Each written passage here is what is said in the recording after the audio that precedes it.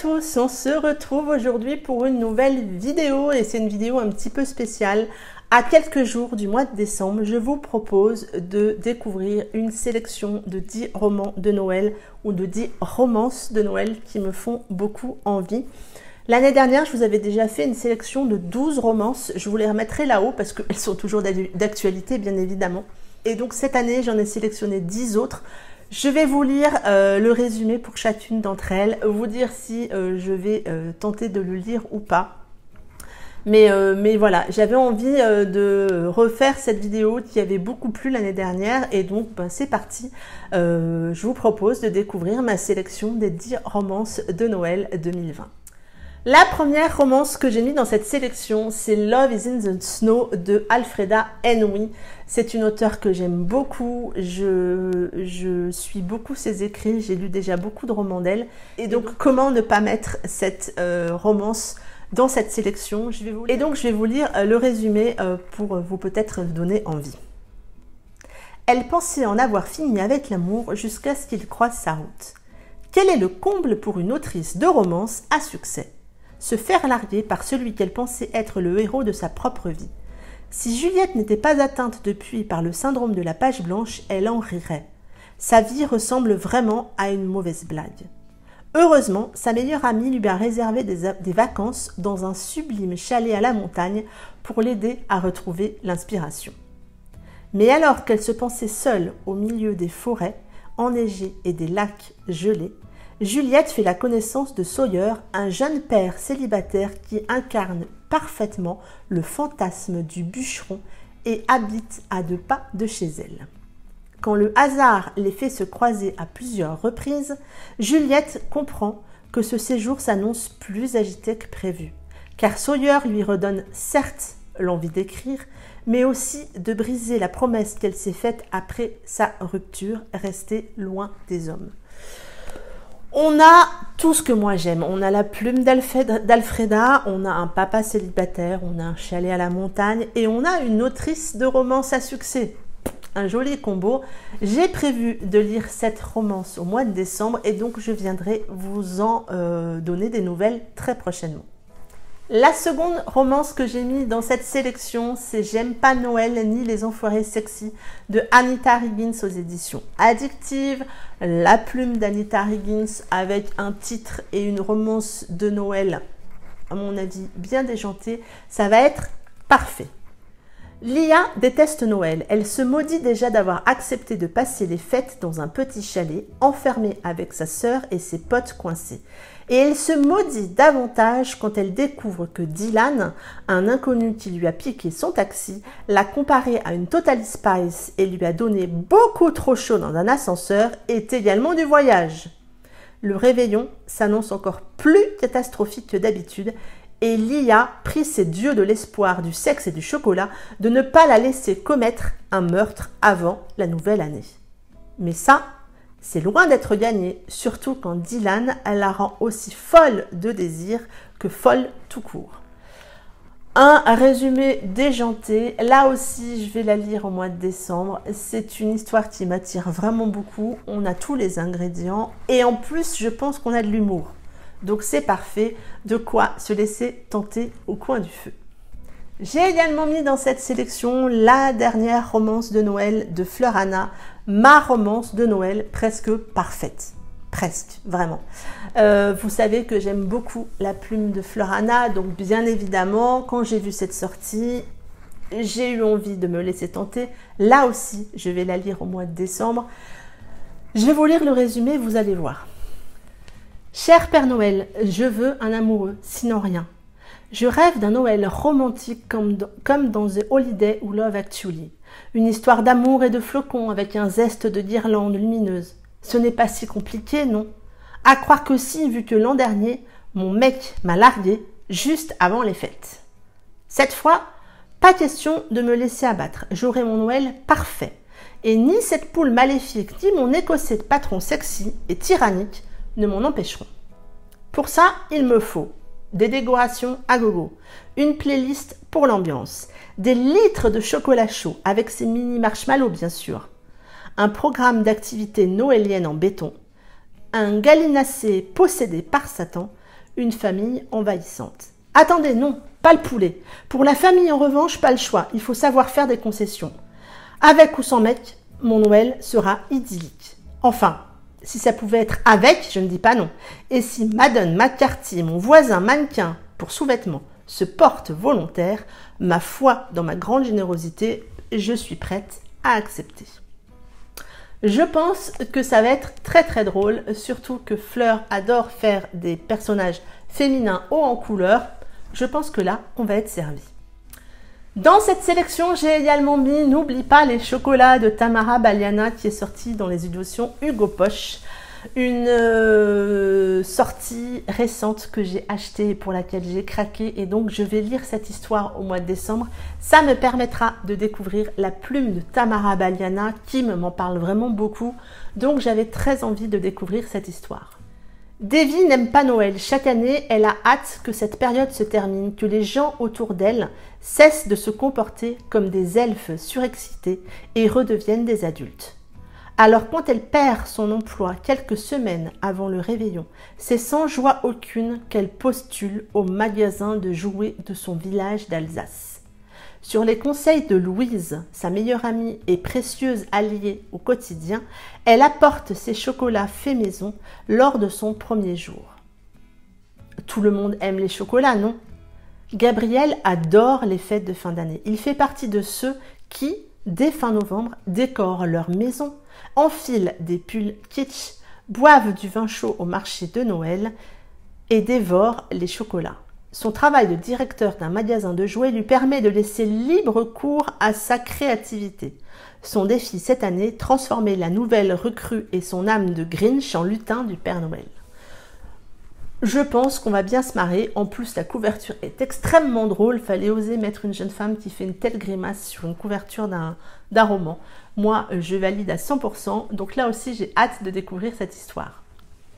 La suivante que j'ai mis dans cette sélection, c'est Noël de Ludivine Delaune, qui est peut-être plus une romance d'hiver qu'une romance de Noël, mais bon, j'avais très envie de la mettre dans cette sélection. Je vais essayer de me la programmer au mois de janvier. Euh, on va essayer. Mais euh, j'ai vraiment euh, adoré la couve, j'aime beaucoup la plume de Ludivine, donc c'était l'occasion pour moi de la mettre dans cette sélection. Après un divorce houleux, Louise se retrouve seule avec ses deux filles pour Noël. Heureusement, elle peut compter sur ses voisins pour l'aider à traverser cette crise. Tous décident de louer un chalet à la montagne pour célébrer les fêtes ensemble. Ils ont tout prévu. Ski, neige, raclette. Mais Louise n'aurait pas pu prédire les rires, les confidences, l'amitié de ses voisins devenus amis, et moins encore l'arrivée de l'amour. Donc un résumé très mystérieux à mon avis, avec Ludivine de l'Aune, on va pas s'ennuyer, on va avoir beaucoup, beaucoup d'émotions. De quoi se laisser tenter par cette romance de Noël. La suivante que j'ai mise dans cette sélection, c'est Cher Père Noël, je voudrais un mec de euh, Caro Emmeline aux éditions EH, une auteure dont j'entends beaucoup parler et dont je n'ai encore pas lu de roman. Donc pourquoi pas, ça sera peut-être l'occasion avec celle-ci. Euh, il paraît qu'elle est très très drôle. C'est la dernière fois qu'Ali écoute les conseils foireux de sa meilleure amie. Écrire sa liste au Père Noël, d'accord, c'est drôle comme idée, jusqu'à ce que sa poisse légendaire fasse encore des siennes et qu'Ali envoie par erreur la dite liste par mail à son patron, Evan Sanders, qui est plutôt du genre Père Fouettard. Non seulement il va savoir que son vœu le plus cher est de se trouver un mec, ou à défaut de découvrir de beaux sextoys sous le sapin, mais en plus, il va apprendre qu'elle fantasme sur lui. Qu'est-ce qui lui a pris d'avouer qu'elle ne le repousserait pas s'il lui sautait dessus? Sa carrière professionnelle est foutue, c'est sûr. Tout compte fait, Ali ne souhaite plus qu'une seule chose pour Noël. Un miracle.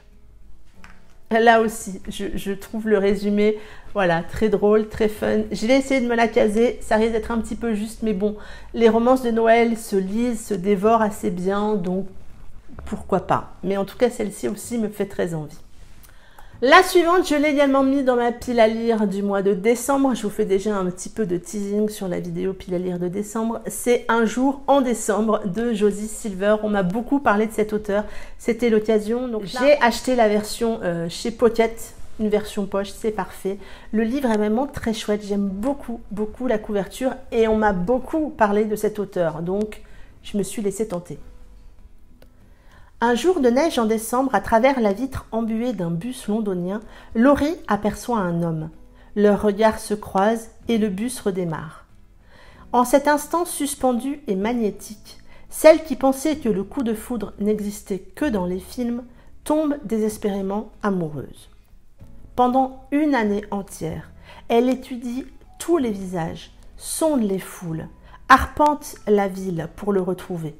En vain jusqu'à ce soir de Noël, où sa meilleure amie et colocataire lui présente le nouvel homme de sa vie, Jack, l'homme du bus.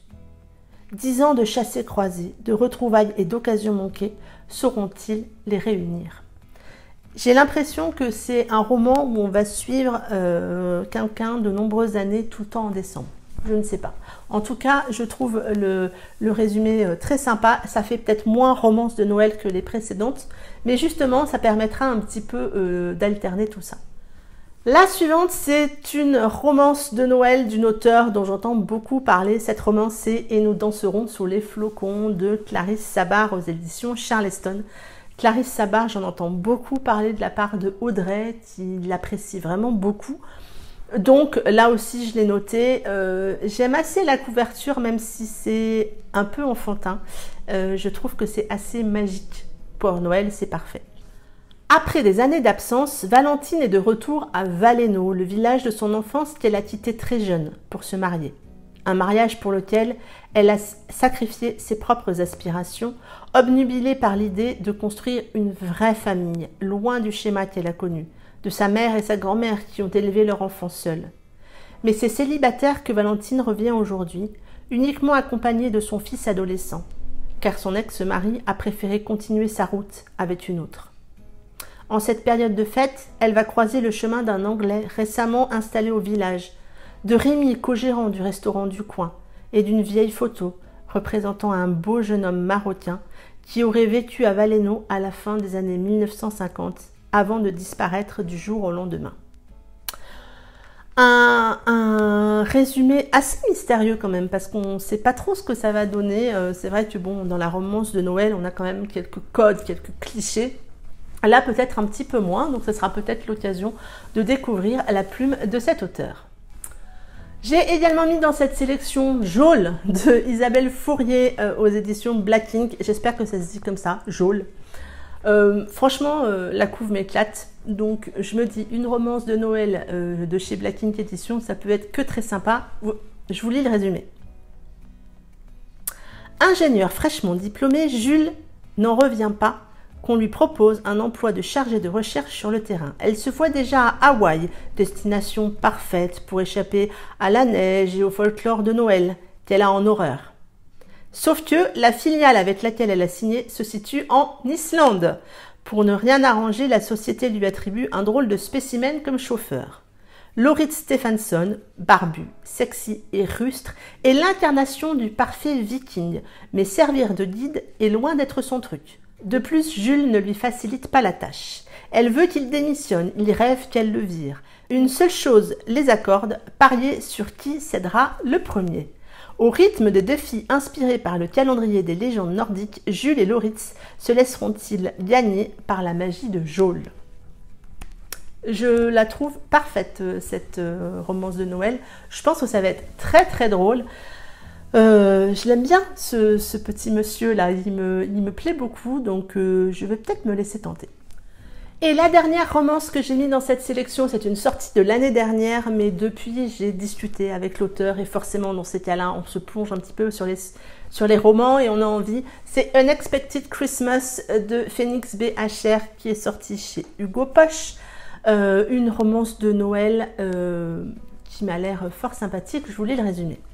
Emerson, la fille adoptive de la riche famille Kessler, a tout ce qu'elle a toujours rêvé d'avoir des amis fidèles, un dressing de la taille d'un studio et un fiancé qui va bientôt lui offrir un mariage de princesse. Pourtant, à quelques mois de la cérémonie, une lettre accapare toutes ses pensées, l'empêchant de se concentrer sur les préparatifs. Alors que Noël approche, Emerson quitte sa Californie natale. Destination le froid du Montana pour un voyage à la recherche de ses origines qui pourrait bien lui réserver des surprises inattendues. À commencer par ce cow-boy à l'allure de mannequin qui semble en connaître plus qu'elle sur son passé. Une romance de Noël à savourer au coin du feu ou partout ailleurs. Et moi, je pense que je vais la savourer au coin du feu, enfin pas celui-ci, mais celui que vous avez habituellement, mais de, mon faux feu de cheminée, puisque je n'ai pas de feu de cheminée. Voilà pour cette sélection de Noël. J'espère que cette vidéo vous aura plu. Dites-moi si vous avez d'autres romances de Noël que vous avez envie de lire mois euh, de décembre. Bien évidemment, cette liste n'est pas exhaustive, il y a plein d'autres euh, romances de Noël. J'ai juste sélectionné 10 romances qui, moi, me font très envie. N'hésitez pas donc à partager tout ça avec moi en commentaire, je me ferai un plaisir de vous répondre. Et en attendant, je vous souhaite une très belle semaine, de belles lectures et je vous dis à très bientôt pour une prochaine vidéo. Bye bye